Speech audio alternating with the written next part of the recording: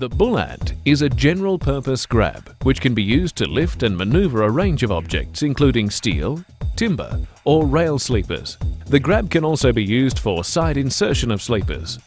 The bullant includes rubber grab pads which can be removed if necessary to suit individual user requirements and applications.